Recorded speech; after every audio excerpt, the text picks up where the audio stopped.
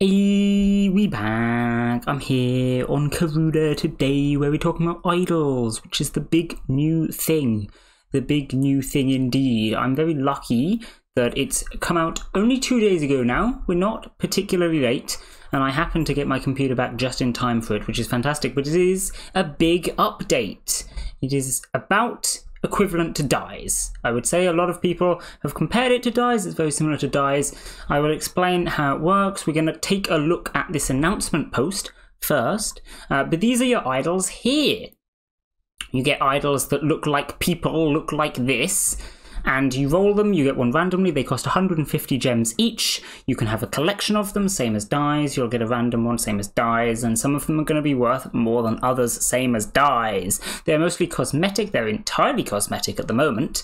Uh, it's like a profile picture, basically, uh, but in future they will do stuff. So let's skim through this, there is a lot of stuff. So we're going to take and pick and choose the bits that are helpful. These are idols, as I said. Uh, they are an engaging visual experience, which is to say, they are cosmetic. Uh, but they will show up in many different places throughout Karuta's command responses in a similar way to your profile picture, such as when you do a dojo fight or a visit or something like that, which would have previously shown your profile picture. It will now instead show your idol. They've also been added to a few other places, uh, such as trades. When you type KMT, it'll show your idol there, which is fun. Just kind of put them in everywhere that's relevant, which is great. Uh, you can roll an idol with the idol command, which is kidols or KIC for short. I don't know why it's a C, but sure. I mean, it can't be KI, can it? Because that would be uh, inventory. So it's KC, sure. Um, I guess idol collection. That's reasonable. There you go, idol collection. Uh, and you can roll a new idol from there, which, like I say, costs 150 gems in the same way as dyes as well. With dyes, you can burn them to get glass, and then you can re-roll the glass into new dyes. You can do the same thing with idols. So if you burn an idol, you'll get a star, and with five stars, you can get a new idol. So if you get a bunch of really garbage idols and you want a new one, you can re-roll them. I would not recommend doing that yet, because we don't know which ones are the good ones yet. We will see what they do because they will be doing things in future. Of course, there is some aspect of which one looks nice, and of course, that's what people are buying them for at the moment which ones look nice, but also which ones are rare and which ones do cool things. There you go. So when you get your idol, we'll see it like this. You have rolled the idol, it comes with a little tag, same as cards, same as dyes, things like that. Uh, as I said, burning it will get you a star, and it has all of these tags which basically describe what the idol looks like in general. So, for example, female, wow, it's a female. Male, wow, it's a male. Pink hair, brown hair, blonde hair, etc. Uh, some of them are more accurate than others. You will sometimes find that a tag has appeared, but you don't really see it. It's not. It's not super obvious. It hasn't shown itself because these are all uh, generated images. So sometimes it'll say that they're wearing a particular type of clothing, but they're actually just not. Maybe. We'll see. Um, but yes, in general, the tags describe how they look, and they don't have a fixed number of tags. Some of them only have four or five tags, some of them have more like 15 tags. It is the tags, as far as we are aware, that will be doing things, so I would say that more tags is probably better but of course it depends on the look as well and the rarity of the tags and all the rest of it. We'll get to that later though. Uh, you can view them with the kview command, same as uh, cards and dyes, burn them, same as anything else, etc, etc.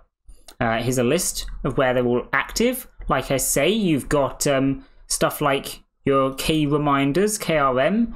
It shows up in your uh, visits. Here we go, date interaction. As you see here, you get your profile picture normally here, but now it is instead your uh, idol. Same as under trades, etc., etc. So there you go. Good stuff. Uh, how many idols are there? This is an interesting question because there uh, not really a number. Like I say, they're all generated, uh, but at the same time, they can sell out. So I'm not exactly sure how that works. Uh, but yes, here we go. Uh, how we've seeded stuff plan to release exact uh, data uh, behind these rates, so we don't know exactly how anything's going to be going. Uh, but in general, There's a lot of different things that can change. It's all going to be reasonably unique when you get an idol. It should be different from everyone else's.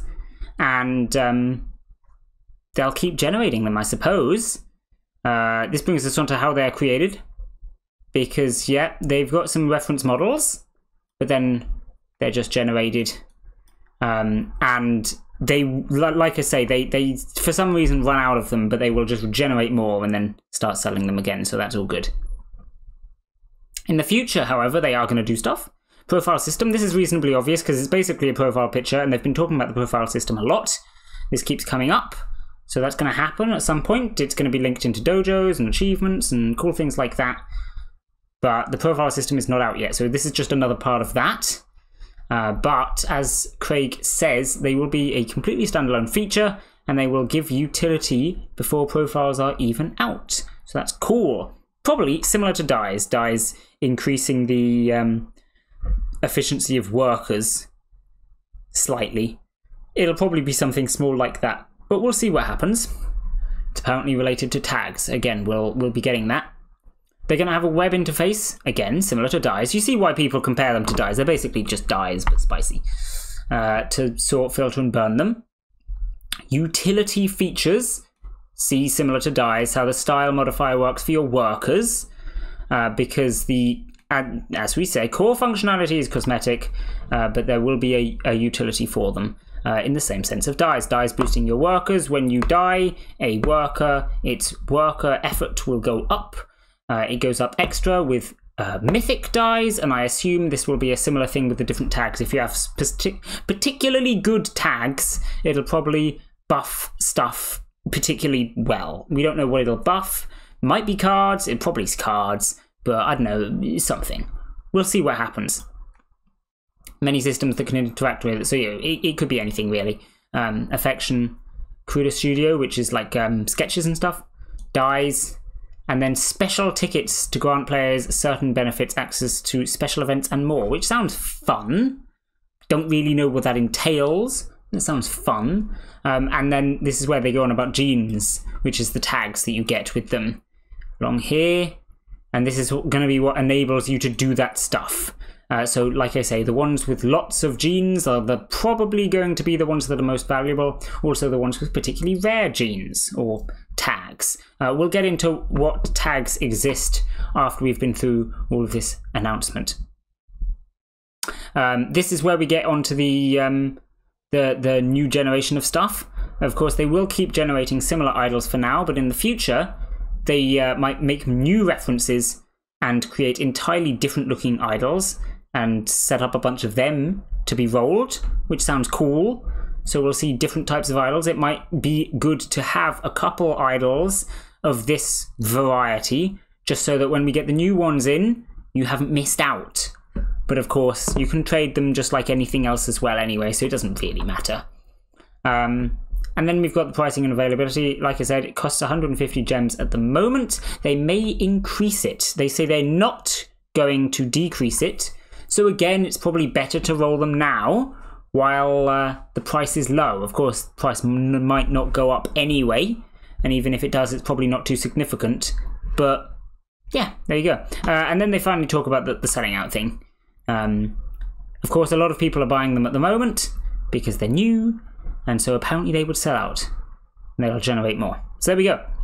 Let's go and have a look at some idols, shall we? I'm going to be using Kit for this because they have set up a bunch of channels for idols, which is really cool. Uh, and as you can see, some tags are more common than others. We've got ones for hair color here. So this is orange hair, and all the people here have orange hair, and there's blue hair. You can go in here, and they all have blue hair. And this is a tag as well. So you might find one that actually doesn't have blue hair, but it has the blue hair tag, and that's why it's here. Although saying that, um, people in kit have been cross posting them a lot. I keep seeing grey hair in the white hair channel. To be fair, there doesn't seem to be a grey hair channel, so fair enough. But anyway, you get the point. And you, you, you get ones with not many tags, you get ones with much more tags, so on and so forth. Um, and then there are some particularly rare tags. So here we have animal ears, which is like, you know, That's horns. Close enough. That's also horns. What did it, what, what did I say? They're not very good at putting them in the right channels. There we go. See, look, you get little Neko, Neko idols. There's elves, furries, horns, cyborgs, zombies, and then people looking for looking for idols that look like anime characters. Idol that looks like Himiko Toga, for example. Um, and of course, if you can pretend like your idol looks like a particular anime character, you can probably sell them a lot higher than they're worth. And because they are currently only cosmetic, people only are trying to buy them based off their cosmetics. We don't know which ones are good. Uh, but, like, for example, if we look in these channels like we were a second ago, you'll see that these ones are going for, well, the price that they bought them for, or maybe a little bit higher. Whereas if you go into something like this, they're going to be selling much higher because these are the rare tags you don't see so often. Over a thousand gems. So that's cool. Get 10 times your money if you get a good tag, but of course it's unlikely. So there you go. That's the, the kind of tags that exist. Most of them don't change them too much, but the rare ones kind of do. Cyborg and Zombie particularly change them a fair bit. Uh, but there you go. That's that. Um, I have rolled an idol myself. We can have a look at this. So here's my idol collection. KIC to run the command. Here's all the buttons. So you've got your list. That's where we are at the moment. We can press active to see our active idol. This is my one. It's got quite a lot of tags, but nothing special. No uh, fancy tags like zombie or cyborg or anything. But generally, I mean, four lines of tags, that's good. And there's a lot of um, emoticon ones. Smirking, blush, makeup. I don't know. Maybe they're good. Uh, there's the roll button course, where you can roll for 150 gems or 5 stars. I don't have any stars. Um, and then you can also select idols, which lets you see them. You can actually add custom tags to them. You can set emojis for them. Uh, and of course, you can burn them. So there you go. That is the tags, uh, the idol collection stuff at the moment. There's not too much to it, but of course there's not too much to idols at the moment. It is, at the end of the day, very similar to dyes, although saying that, when we go on the dyes command, we don't get an interface nearly as fancy as that. So this is probably just because this is new, so they're doing all the fancy stuff with it, uh, whereas dyes not. Uh, but it's basically the same functionality as dyes. We've got dollar signs on the start of the dye tags and and symbols on the start of the idol uh, tags, codes rather, not tags. Uh, but yeah, so there you go. That's idols. That's what we're doing. That's what they are. I would recommend getting yourself a couple of idols because they are only going to go up in value um, and they will eventually do something. So certainly if you buy idols now and sell them later, you will make money as long as you can sell them. Because to be fair, at the moment, there are a lot of people rolling idols because they're new, and most people aren't buying idols, especially if you just get a bog standard idol. The chances that someone buys it off you is kind of low. So mostly you're going to be buying them to hold them. Get yourself a collection of idols. I've just got the one because I'm not really planning on doing much with it. I want to spend my money on other things at the moment, so I'm not following my own advice. But I do think if you buy yourself some idols, they will only go up in value. So if you've got some spare money lying around, I would suggest getting a few. Don't burn them, in my opinion, because we don't know which ones are the good ones yet. You don't want to accidentally burn one that ends up having a really good tag later on. That would be real unfortunate. So for now, just keep them. You can always burn them later when we know what they do and you decide that you don't like them then. So that's all good. And of course, if you do get a rare tag like zombie or cyborg or something, uh, would recommend selling it because there is a demand for them. Certainly, if you if you get a good one, there is a demand for it. And there are some random tags as well that just get added onto other stuff, like crown, you put a little crown on their head. I imagine if you get like a zombie with a crown or something, that's going to be worth even more than a regular zombie. Just for example, uh, mixture of tags. I do wonder if it's possible if to get like a zombie cyborg. I would imagine not, but if it is, that kind of thing's probably worth a lot. Uh, you also get that some that are broken. This is something that I should probably mention. Some of them have uh, broken faces, basically where it hasn't rendered properly. And of course, those ones are more valuable as well. It's actually quite common at the moment, as opposed to getting the transparent morphs and stuff, which are very rare and worth a lot. Uh, getting transparent idols uh, isn't isn't that uncommon. Uh, so they're not worth that much. But certainly, if you get something like that, it's also rare. You can also sell it for a good amount. Anyway, that's idols. Uh, when we know more about them and what they do, of course, I will make another video. But for now, it's just a bit of an introduction to what idols are, how to get them, what the update notes is, what we know. So there you go, there's your idols. Anyway, I'll be leaving this video here. Bye!